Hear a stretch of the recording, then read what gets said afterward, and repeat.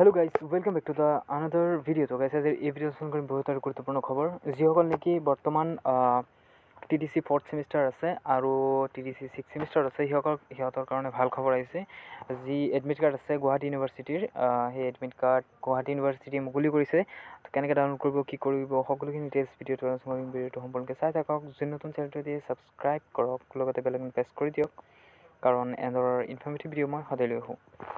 First of all আপুনি কি কৰিব? আপোনালোকে জিঅ' পৰ্টেল বুলি গুগলত চাৰ্চ কৰিব বা মই ডেছক্ৰিপশ্যনত লিংক দিয়া থাকিব দি দিম। তাত আপুনি ডাইৰেক্ট ক্লিক কৰি ৱেবছাইটলৈকে যাব পাৰিব।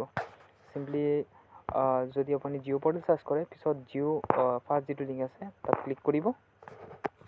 ক্লিক কৰাৰ লগে লগে এটা নতুন পেজ খোল খাব। ইয়াত আপোনালোকে চাব পাৰিছে ডাউনলোড এডমিট কাৰ্ড বুলি দেখা পাইছে। চিম্পলি ইয়াত ক্লিক কৰি দিব।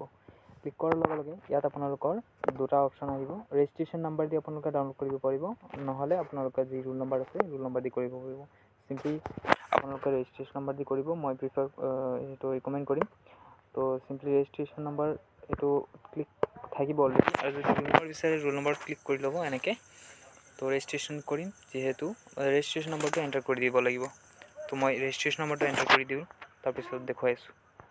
তো মই ৰেজিষ্ট্ৰেশ্যন নম্বৰটো এণ্টাৰ কৰা কৰিলোঁ। এতিয়া আপোনালোকে কেপচাৰ যিটো আছে ইয়াত ছেম সেইটো দি দিব লাগিব। দিয়াৰ পিছত আপোনালোকে অলপ স্ক্ৰল ডাউন কৰিব।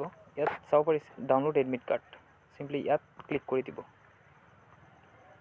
ক্লিক কৰি দিয়াৰ লগে লগে আপোনালোকৰ যি এডমিট কাৰ্ড আছে সেইটো খোল খাব। এনেকৈ আপোনালোকৰ সম- সম্পূৰ্ণ ডিটেইলছ আপোনালোকে ইয়াত চাব পাৰিব আপোনালোকৰ নাম ৰোল নম্বৰ তাৰপিছত আপোনালোকৰ কলেজ নেম সকলোখিনি ডিটেইলছ থাকিব।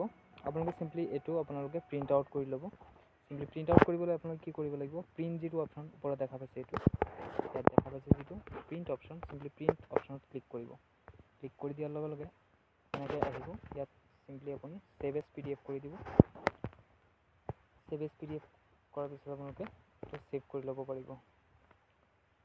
আৰু আপোনালোকে এইটো কলেজৰ পৰা কাউণ্টাৰ চাইন কৰাই ল'ব। নহ'লে এডমিট কাৰ্ডটো আপোনাৰ ভেলিড বুলি গণ্য কৰা নহয় আৰু।